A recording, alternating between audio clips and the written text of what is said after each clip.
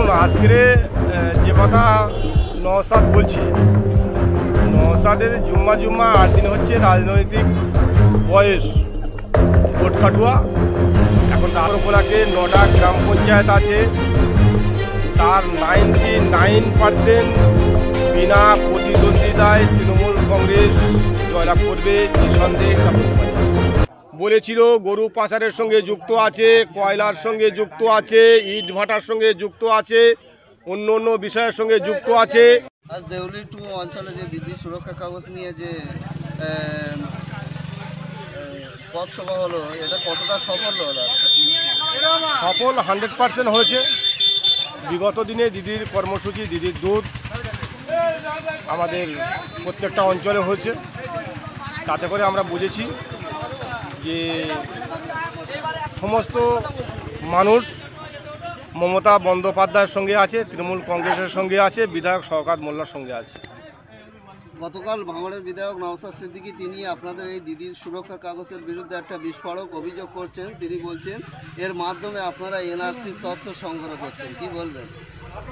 শুনুন আজকের যে কথা নওসাদ বলছে নওসাদের জুম্মা জুম্মা আট দিন হচ্ছে রাজনৈতিক বয়স দু হাজার একুশের বিধানসভা এক মাসের আগে কোথায় থেকে আবির্ভাব হয়েছে বিজেপির কোলে থেকে ভোট কাটুয়া।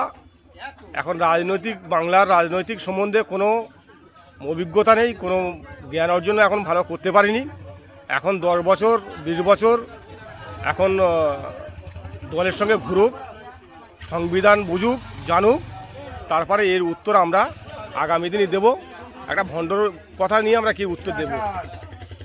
এই, উম, ক্যানিং পূর্ব তেরোটা পঞ্চায়েত আছে। আপনারা কি সামনের পঞ্চায়েত ভোটে তেরোটা বিরোধী শূন্য করতে পারবেন?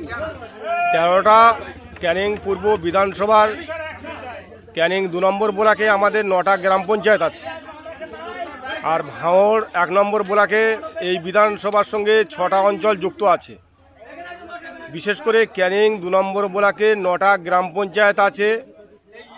তার নাইনটি নাইন পারসেন্ট বিনা প্রতিদ্বন্দ্বিতায় তৃণমূল কংগ্রেস জয়লাভ করবে নিঃসন্দেহে, এটা বলতে পারি। হাকিম এর আগে আপনি বলেছিলেন যে দেউলি দুইয়ের মধ্যে যদি কোনো একটা সিট যদি বিরোধীরা যেতে তাহলে আমি রাজনীতিতে ছেড়ে দেবো। আপনার কথা আমি, আপনি বললেন, আমি শুনলাম এরকম নাই। অনেক মানুষ আপনার সেই ভিডিওটা দেখেছেন। আপনি কি সেই আপনার জায়গায় আছেন?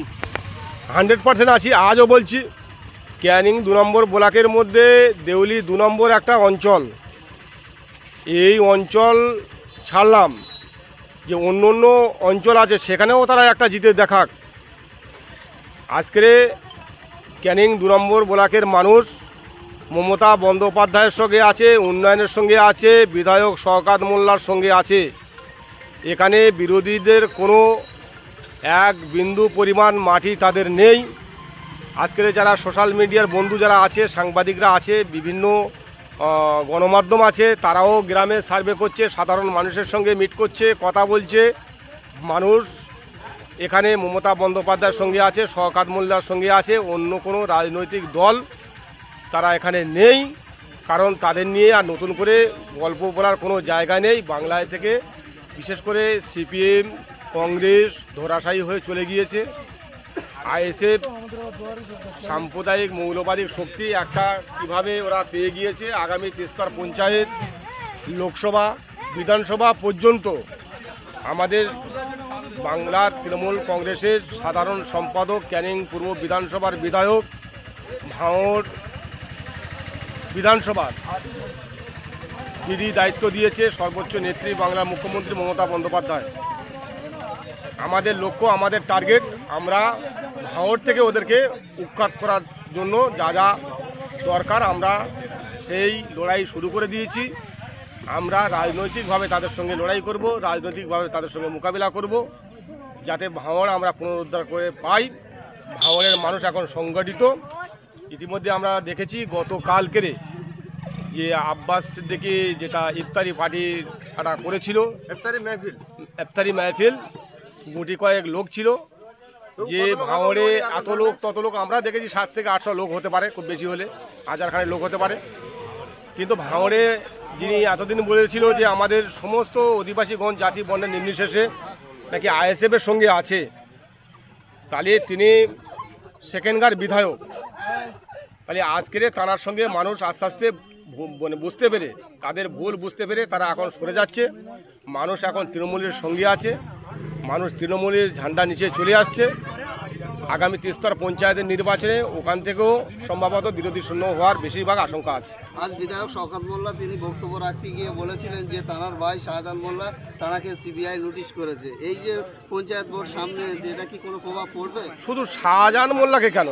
আমাদের এখানে আমরা জাতি বর্ণ নিম্নশেষে সমস্ত সম্প্রদায়ের মানুষ প্রত্যেকে সিবিআই নোটিশ করে ডাকুক, আমরাও পঞ্চায়েত সমিতি কর্মদক্ষ আছি, আমাদেরকেও ডাকুক। এর আগে আমাদের একটা ছেলে মানে আমাদের যুব সভাপতি করেছি, সাদেক লস্কর তাকেও ডেকেছিল। আমাদের বিধানসভা আর একজন যুব নেতা আছে, গৌতম মণ্ডল, তাকেও ডেকেছিল। আমাদের ভাঙড়ের সাজার মোল্লা তাকেও ডেকেছিল। সিবিআই ডাকতে পারে, সংবিধান আছে, আইন আছে, আজকের পুলিশ, প্রশাসন, তারা যদি মনে করে যে আমরা কিছু তথ্য সাধারণ মানুষের কাছে ডেকে আমরা সংগ্রহ করব। তারা অধিকার আছে, সংবিধান আছে, করতে পারে, তেমনিভাবে সিবিআই ডাকতে পারে। এটা নিয়ে কোনো বিষয় না। কারণ বিধায়ক শওকাত মোল্লার ওপরে এত ক্লেম দিয়ে যখন তাকে ডাক করানো হয়েছিল, বলেছিল গরু পাচারের সঙ্গে যুক্ত আছে, কয়লার সঙ্গে যুক্ত আছে, ইট ভাটার সঙ্গে যুক্ত আছে অন্য অন্য বিষয়ের সঙ্গে যুক্ত আছে। আলটিমেটলি সেখানে গিয়ে শওকাত মোল্লা মাথা উঁচু করে গিয়ে শীত দাঁড়া উঁচু করে সেখান থেকে সিবিআই এর সঙ্গে মানে জবাব দিয়ে সেখান থেকে তিনি বার হয়ে চলে এসছেন।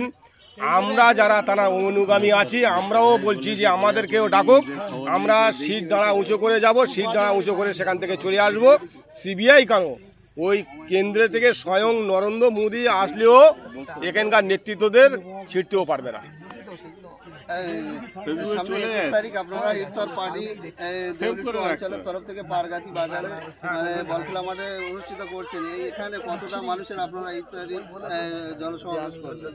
আপনারা তো এখানে সোশ্যাল মিডিয়া যারা আছে প্রত্যেকে তো আছেন। দেখেছেন তো আমাদের যে দিদির দুধ কর্মসূচি। যে সকালবেলা একদম মানুষ ঘুম থেকে ওঠে আটটার সময় মাহে রমজান মাস চলছে সেহরি খেয়ে ফজরের নামাজ পড়ে মানুষ ওই সময়টা ঘুমায়, কেন রাত দুটো, আড়াইটা, তিনটের সময় ওঠে। তারপরেতে সেখানে সেহরি খাওয়ার পরে চারটে কত হইতে ফজরের জামাত হয়, জামাতে নামাজ পড়ে তারা বাড়ি গিয়ে আবার ওই ঘুমটা আটটার সময় তারা কেউ ঘুম থেকে ওঠে, কেউ সাতটার সময় ঘুমিতে ওঠে। এই দিদির দুধ কর্মসূচি আপনারা সকাল থেকে এসে দেখছেন। এখানে হাজারে হাজারে মা বোনেরা যেমন জমায়েত হয়েছে, হাজারে হাজারে ভাই বোনেরা তেমন জমায়েত হয়েছে। বয়স্ক মানুষ থেকে মানে ছাত্র, যৌবন থেকে সকলে এখানে উপস্থিত হয়েছে। আপনারা সেটা দেখেছেন, আমি আর কি বলব, সেটা আমার থেকে আপনারা ভালো বলতে পারবেন যে এখানে কতটা মানুষের জমায়েত হয়েছিল। নিশ্চিতভাবে একুশ তারিখে ইফতারি অনুষ্ঠান, সেদিনও আপনারা থাকবেন, সেদিন আপনারা বুঝতে পারবেন যে দেউলি দু নম্বর অঞ্চলের যে বিধায়ক শওকাত মোল্লার ডাকে যে ইফতারি অনুষ্ঠান, জাতি বর্ণ নির্বিশেষে সেদিনই আপনারা নির্ণয় করে বলবেন।